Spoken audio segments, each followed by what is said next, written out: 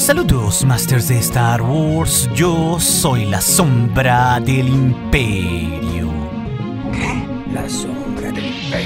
Esa galaxia muy muy lejana nos ha vuelto a traer importantes y muy buenas noticias sobre su propio futuro, particularmente en torno a las series de televisión, ya que con The Mandalorian esta serie se ha vuelto un absoluto fenómeno cultural para muchos de nosotros desde que surgió esta serie de Star Wars en la plataforma de Disney Plus. Estas pues básicamente fueron las propias palabras del CEO de Disney, Bob Iger Masters, el cual el buen tío Bob en sus tradicionales conferencias abiertas al público sobre los resultados trimestrales de Disney pudo hablar largo y tendido sobre mucho del futuro de la marca que representa y con ello también de Mandalorian. Y con esto también darnos un panorama muy prometedor en el corto plazo para Star Wars, ahora que sabemos también de la propia voz de Iger, como ya nos lo había dicho antes, que las películas en los cines estarían en una breve pausa hasta diciembre de 2022. Sin embargo, las buenas noticias no solo están en las series, sino también en los videojuegos, lo cual está abriendo una gran gama de posibilidades para nosotros los fans en el futuro inmediato. Es por eso, Masters, que revisaremos un trío de buenas noticias para la saga, que tienen todo que ver con The Mandalorian, los videojuegos y las series futuras y el cine de Star Wars. Y entrando primero que nada, netamente, en los videojuegos, un reporte de los últimos días nos trae de regreso el gran éxito que ha significado el videojuego de Jedi Fallen Order, protagonizado por Cal Kestis en diferentes plataformas. Y esto claro se relaciona con el futuro de esta franquicia que nos dejó en un gran continuará, ya que Electronic Arts, distribuidora de este videojuego y licenciatario de Star Wars, ha reportado sus resultados del final del 2020 por medio de su CFO Blake Jorgensen. Y en relación a Jedi Fallen Order, todo parece que ha superado las expectativas que ellos mismos tenían, Masters. Ya que el ejecutivo de la empresa explicó que habían proyectado que Jedi Fallen Order tuviera mundialmente entre 6 a 8 millones de copias vendidas. Pero la recepción de los usuarios fue tal que están esperando terminar el año fiscal del 2019 con más de 10 millones de copias vendidas. Algo que calificaron como un resultado bastante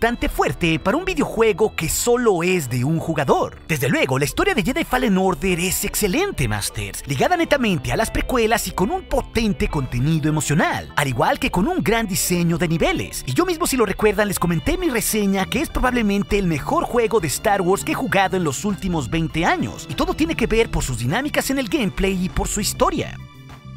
Y lo importante de estos datos, Masters, es que están abriendo las puertas para ver la continuación de este juego. Esto claro, con el mismo motor de juego que ya está hecho y el mismo actor. No nos olvidemos tampoco, y cuidado aquí con el spoiler, que Jedi Fallen Order termina con un final abierto donde no sabemos qué pasará con la tripulación del Stinger Mantis y principalmente con Cal Kestis tras haber ido a la fortaleza de los Inquisidores en Nur y escapar de las garras del mismísimo Darth Vader. Estos grandes resultados para un juego anunciados por EA, más el gran continuará de su historia se unen precisamente a lo que dijo en el más reciente Star Wars Show Orion Kellogg, senior producer de Lucasfilm Games, ya que entre los resultados de este videojuego dijo que estaba contento de cómo la gente se conectó con la historia de Cal Kestis, pero sobre todo dijo algo clave que nos da muestras de una posible continuación al declarar lo siguiente. No quiero spoilearlo, pero estoy muy orgulloso de cómo termina el viaje y de las posibilidades que hay para Cal en el futuro. Esto pues es crucial, Masters, porque viene de una persona directamente involucrada en Jedi Fallen Order como su productor y nos deja muy en claro que sabe perfectamente bien cómo acaba la historia del ahora caballero Jedi Cal Kestis, algo importantísimo. Y tal cual él nos dice que no quiere adelantar nada, pero que hay muchas posibilidades para Cal Kestis en el futuro. Así que esto, Masters, puede ser mucho más amplio con nuevas historias en diferente contenido para Cal Kestis. Pero muy probablemente se nos esté adelantando un Jedi Fallen Order 2. Esto pues mucho más pronto de lo que pensamos, porque ya está hecho el motor de juego y saben bien dónde acaba su historia. Así que solo es cuestión de esperar. Es así que pasando a nuestra segunda buena noticia que tiene todo que ver con las series de Star Wars y de Mandalorian, ayer el buen tío Bob Iger salió a dar los resultados de la compañía que representa de a finales del 2019. Y como les comentaba, se mostró absolutamente feliz con lo que ha hecho Disney Plus en menos de tres meses de existencia gracias a la serie del Mandalorian y a un cierto niño que usa la fuerza en su serie. Aquí, claro, Bob resaltó que The Rise of Skywalker pasó globalmente la marca de mil millones de dólares en taquilla, cosa que pocas películas en la industria hacen, pero también dijo que tendrán una pausa en los cines con Star Wars para centrarse en la televisión. Y con esto Iger aclaró los planes para la franquicia de Star Wars en la plataforma de Disney Plus, diciendo que el recibimiento de esa plataforma de streaming en los Estados Unidos superó sus expectativas. Y dijo que ahora mismo ellos tienen 28.6 millones de usuarios de paga, algo que es muy importante, Porque Netflix en ese país tiene apenas 61 millones de usuarios. Iger pues se mostró contento porque en solo tres meses Disney tiene casi la mitad de lo que tiene Netflix, y todo pues por la unión de sus diferentes marcas como lo es Star Wars. Claro, con esto también Iger dijo que Disney Plus será lanzado en España el 24 de marzo, pero aclaró que el 2020 será el año para lanzar esta plataforma en el resto del mundo. Y esto pues tiene todo que ver con Latinoamérica, ya que se nos había dicho que tendríamos esta plataforma en Latinoamérica para finales del 2020. Sin embargo, donde tiró la bomba y la gran noticia sobre The Mandalorian fue precisamente al señalar Bob Iger que la temporada 2 del Mandalorian regresará un mes antes de lo que pasó con la temporada 1, y que la temporada 2 de Mando y Pepe Yoda se estrenaría en octubre de 2020. Algo muy importante porque es posible que coincida con el lanzamiento de Disney Plus en Latinoamérica para esas fechas. Pero lo que es crucial sobre el futuro del Mandalorian es que también Iger nos dijo que esta serie correrá más allá de la temporada 2, confirmando pues, como ya lo habíamos supuesto, que habría una tercera o por qué no una cuarta temporada y más allá. Lo cual prácticamente nos confirma que seguro seguiremos viendo The Mandalorian entre el 2021 y 2022, conectándose así con el regreso de Star Wars en los cines en diciembre del 2022, Masters. Pero sobre esto, como ya lo han reportado varios medios como Variety o The Hollywood Reporter, Bob Iger agregó que incluso tras el flamante éxito del Mandalorian, ahora mismo están considerando la posibilidad de tomar los personajes de esta serie y seguirlos en su propia dirección en términos de sus propias series. Con esto pues el CEO de Disney nos tiró otra bomba más diciendo que es posible que haya spin-offs de los personajes que ya hemos visto en The Mandalorian. Así que esto es muy importante porque ahora que ya hemos conectado nosotros los fans con personajes como Moff Gideon o Cara Dune o hasta con IG-11, es probable que veamos mucho más de ellos a manera de precuelas o cosas por el estilo, aunque esto claro solo es una posibilidad. Así que como podemos ver Masters, esto nos da un panorama muy claro de cómo se vendrá el estreno de las futuras series de Star Wars, siguiendo claro el típico calendario de un episodio por semana desde el mes de octubre del 2020 para The Mandalorian. Aunque claro, aún no sabemos el día exacto en que se lanzará la temporada 2, pero la estrategia aparente de Disney pues es estrenar cada dos meses un pesado contenido de sus franquicias, ya que en agosto tendremos la serie de Marvel de Falcon y Winter Soldier, en octubre al Mandalorian y en diciembre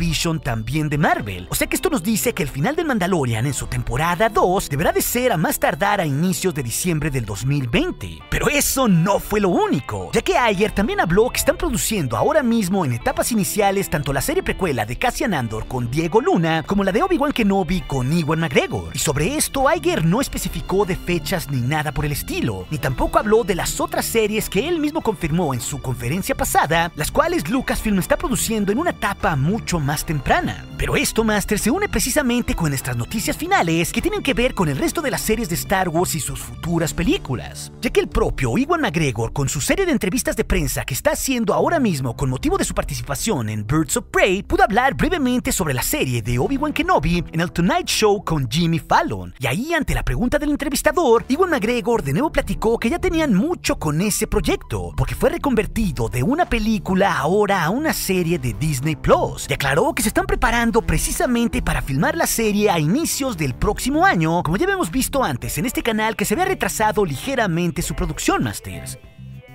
Así que según McGregor, todo marcha en tiempo para cuando planean lanzar la serie de Kenobi probablemente para finales del 2021 o a inicios del 2022. Aunque en este caso, respecto a las otras series de televisión que ya nos había adelantado Iger antes, los que hicieron de las suyas de nuevo fueron Corey y Noah de Kessel Run Transmission, un canal que tiene toda la legitimidad que tiene el buen Jason Ward de Making Star Wars porque es como si fuera su padrino. El caso es que tras el anuncio de Bob Iger sobre que The Mandalorian 2 llegaría en octubre, ellos agregaron que la secuela de Star Wars Rebels, la cual ya les había reportado antes en este canal, llegaría para noviembre del 2020. Y eso no reportaron que es todo lo que pueden decir por ahora, pero están bastante confiados en este reporte, uno que personalmente espero que se cumpla, Masters, ya que por el momento no sabemos cuál sea la siguiente serie animada de Dave Filoni, porque ya terminó Resistance en la cual solo era productor, y ya tiene tiempo que acabó con la temporada final de Clone Wars. Y según la fuente, la secuela de Rebels ya tiene mucho tiempo produciéndose tras bambalinas, y si nos remontamos al récord que tiene Lucasfilm de anunciar sus series animadas, ellos normalmente lo hacen hasta con 6 meses de antelación, un tiempo bastante corto en comparación con las películas o series live action. Así que manera de especulación responsable, me parece que para que esta serie que sería la continuación de Ahsoka, Sabine y Erra llegue a noviembre del 2020 a Disney Plus, debería de ser anunciada por Star Wars no después de mayo del 2020. Así que todavía queda tiempo y suena algo que sí puede darse, dado al récord y cómo suelen darse los anuncios dentro de Lucasfilm de nuevo contenido. Así que como podemos ver, estas son muy buenas noticias. Y esto sin olvidarnos de que Clayton Sandel, el famoso reportero de la ABC, ya nos había adelantado que el 24 de febrero tendríamos la revelación y un adelanto de lo que oficialmente es el Project Luminous, anunciando ese día nuevas novelas y cómics de Star Wars que de acuerdo a algunos reportes todo tendría que ver con la Alta República y con la cuarta trilogía de la saga para el 2022. Así que esto nos dará un panorama mucho más claro a finales de febrero para el futuro de la saga en los cines. Aunado claro a lo que ya nos había dicho de Hollywood Reporter antes, de que Taika Waititi, el gran director del final del Mandalorian y de la espectacular cinta que es Jojo Rabbit, podría ser pues el director de una de esas películas futuras de Star Wars que se vendrían en el mediano plazo. Algo que se suma a las declaraciones que en días recientes en los premios BAFTA hizo también Kathleen Kennedy, anunciando a otra mujer directora para las futuras películas de Star Wars, como si ya tuvieran amarrado a alguien para esos filmes de los cuales no sabemos nada. Esto como lo dijo la presidenta de Lucasfilm en entrevista con la BBC, algo que se sumaría pues al gran papel que tendrá ahora Deborah Chow, como ya la vimos dirigiendo en The Mandalorian y también como lo hará después con la serie de Kenobi. Así que es bastante claro, Masters, que se vienen muchas grandes cosas para Star Wars en los próximos meses del 2020 y en los próximos años. Y esa sin duda será una gran época para la saga. Pero si también quieres conocer más sobre todo lo que nos dejó el episodio 9 Duel of the Fates de Colin Trevorrow que nunca llegaremos a ver en los cines, esas historias sobre ese filme te las dejaré aquí en las pantallas finales junto con más aventuras que seguramente serán de tu interés. Y recuerden, Masters de Star Wars, nuestro aliado es la fuerza y un poderoso aliado es. Hasta aquí su amigo, la sombra del imperio. 配六。